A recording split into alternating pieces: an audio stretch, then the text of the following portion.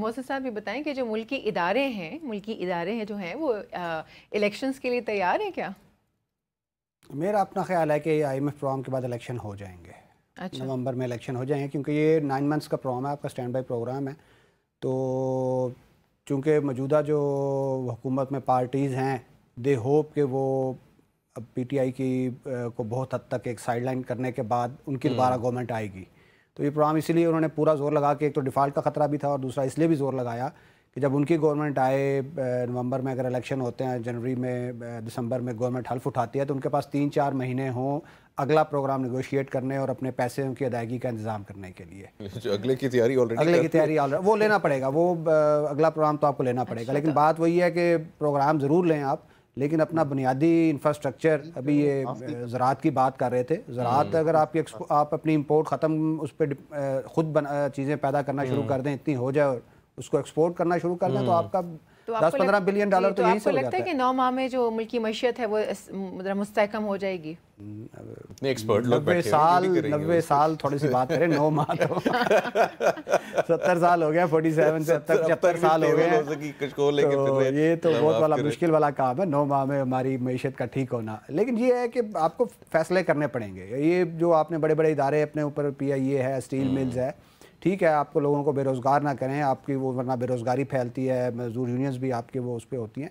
लेकिन कुछ सोल्यूशन तो निकालना पड़ेगा कि आप एक एक इदारे पे सौ सौ अरब पचास पचास अरब रुपया लगा रहे हैं सर हमने अवाम के टैक्सेस से। वोटर फिक्स किए हुए है ना। जी वही बात जो मैंने आपको पहले की थी कि ताजरों पर टैक्स नहीं हाँ। लगाना कि जी हमारा वोटर है। हाँ। अब भैया अगर टैक्स नहीं लगाओगे तो मुल्क कैसे चलाओगे? जो आई से ले लेंगे। वो आईएमएफ से ले लेंगे लेकिन अपने वोटर को डिस्टर्ब नहीं करेंगे। उसको तकलीफ़ नहीं पहुँचे हैं। अच्छा वैसे साहब नवाज़ शरीफ आ रहे हैं फिर पाकिस्तान वापस आना चाहिए। आना आना चाहिए। उसके बगैर नून लीग मेरा नहीं ख्याल कि उस तरह की कंपेन कर सकेगा नवाज़ शरीफ नहीं आते। हम्म, हम्म।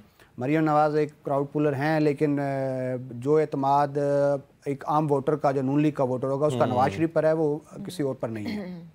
दुबई तक तो पहुँच गए वो। हाँ करीब ही आ गए। दो घंटे रह गए दो घंटे किसी वाले लेकिन सुना अब यही है कि फ़िलहाल सऊदी अरब से वापस लंदन जा रहे हैं। अच्छा वापस लंदन जा रहे हैं। अच्छा मतलब अभी इलेक्शंस आपको होते हुए नज़र आ रहे हैं कि शायद कह रहा था कि 2024 में इलेक्शन नहीं मेरा अपना अंदाज़ा ये है कि इलेक्शन हम्म। होंगे। ये प्रोग्राम के लिए ज़्यादा मेहनत जो शबाज शरीफ साहब ने की कि चार दफ़ा आया M D I M F को फ़ोन किया हम्म। बरह रास्त खुद वरना पी एम इसमें इन्वॉल्व नहीं होते हम्म। तौर पर तो उन्होंने जो इतनी मेहनत की है उस सब यही है कि वो और उसके बाद उन्होंने स्टेटमेंट भी यही दी थी कि हम मुद्दत पूरी करके चले जाएँगे। चले जाएँगे? फ़ौरन बाद स्टेटमेंट शबाज शरीफ की यही आई थी। ओके ओके चले जी यार उम्मीद करते हैं जी कि अच्छी चीज़ें हो बहरहाल। ये इस वक्त जो आ, मतलब एक तो मुल्क के हालात देखें महँगाई है मज़ीद अभी टैक्सेस दोबारा है इम्पोज हो रहे हैं। हमने बड़ी अच्छी गुफ्तु की है कि पाकिस्तान के जो है ना रिसोर्स उनको यूटिलाइज करें आमदन बढ़ाएँ। सोनिया ने भी कहा क्यों नहीं बढ़ाते आखिर आमदन? बड़ी अच्छी चीज़ है। लेकिन ये ऐसा होने वाला तो है नहीं।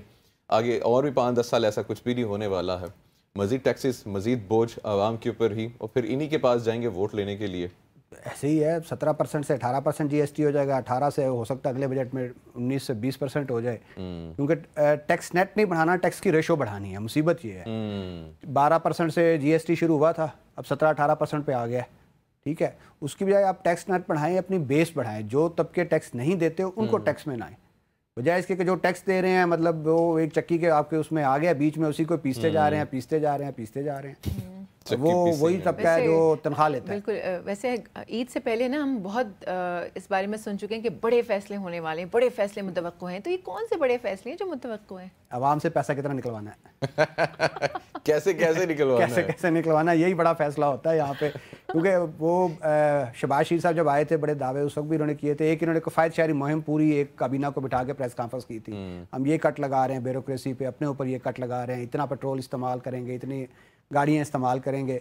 आज तक कभी रिपोर्ट एक साल हो गया ये नहीं आई कि कितनी बचत हुई है उस प्रोग्राम से। क्योंकि हुई कोई नहीं। वो कितनी को बचत हो जानी है उसमें से? हुई नहीं। कर्जे उतार देंगे। नहीं मतलब यह है कि आप जो एक ब्यूरोक्रेट एक गाड़ी का जिसको अलावा है वो चार गाड़ियाँ इस्तेमाल करता है और जिसको सौ लीटर पेट्रोल अलावा है वो हज़ार लीटर पेट्रोल इस्तेमाल करता है आप कट लगाएँ। ऐलान होता है लेकिन मसला यह है कि जिसने अमल दरामद करना है उसी पे आपने कट लगाया वो क्यों अपना कट लगाएगा? ऐसे तो हो ही ना जाए पाकिस्तान के अंदर से ये कट लग ही ना जाए लेकिन ये दूसरी कट लगाई जा रही है। हमारी तरफ़ लगते हमारे कट वाम को लगते हैं और बड़े अच्छे अच्छे कट लगते हैं।